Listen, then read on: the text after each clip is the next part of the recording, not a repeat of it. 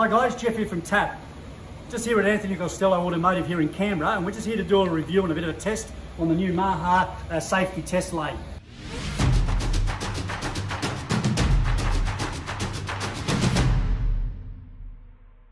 So this is a, a, a, safety test machine that you can modulise and add things to it. But this particular one here, we're doing particular things. The first thing it runs over is the plate slip tester or drag tester. So it's basically checking the slip and drag on the vehicle, which it's already done as it's driven over.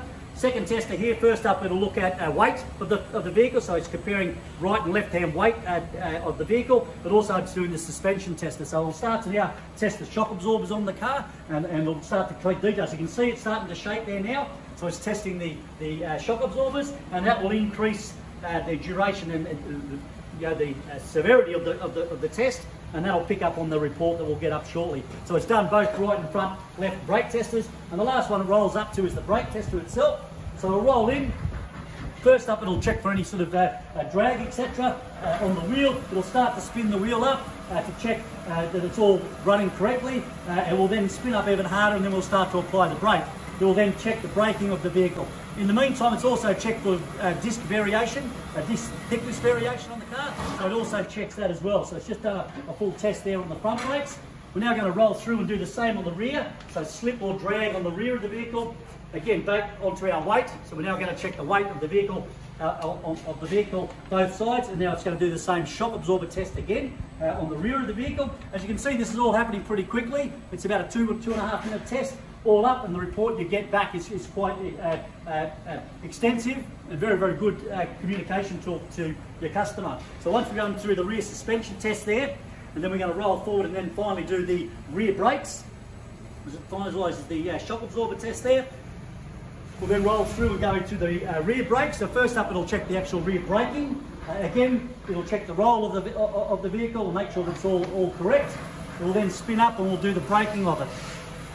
Last up after that, we'll also check the park brake. So if you've got electric park brake or mechanical park brake, it'll fix that up and, and, and compare that as well. Once that's all completed, then we'll have a full test on it. What I like about these machines is it's not invasive. We've done a whole series of tests on the car uh, and we haven't really pulled anything apart or have, have to take it on the road if there's a dangerous condition. So non-invasive diagnostics, this is what it's all about, using this equipment, this modern high-tech equipment to actually have a look inside the car. A great positive for your customer, to give your customer that some sort of report. Have a look at the report that comes on, on the vehicle. We go up to the uh, main booth here.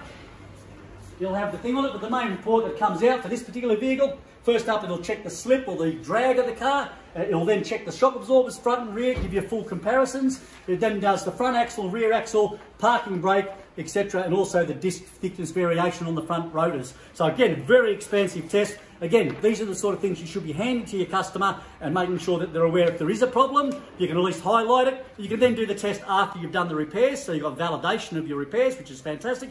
If the car's in good nick, fantastic, you can say, all healthy, fantastic, we've now got that information. Next time they come back, the, those comparisons can be compared to the previous one. So you've got some DNA of their vehicle and you can then compare it next time the car comes in again. So fantastic value. Most workshops that fit this sort of equipment, they've got a fee that they put on for that sort of thing. So basically the equipment pays for itself. It's a money maker for you. Uh, and again, the information you can get from it. This system is actually a very modulated one. It's all it's made in Germany, it's top quality, but you can get headline aligners, you can get emission testers, you can get dynos, you can get all sorts of things that add to the system uh, as you grow and as the technology becomes more and more available. So it's something that maybe you should be looking at. If you're interested to get more information, have a look on the link that we've got below the video or contact Maha themselves and they'll be able to run you through some more of the intricacy. We've just done a quick little test of it, showed you some of the capabilities of it. There's much more to it. Uh, if you're interested, as I say, see Maha. But again, another piece of equipment, fantastic for non-invasive diagnostics. See you next time.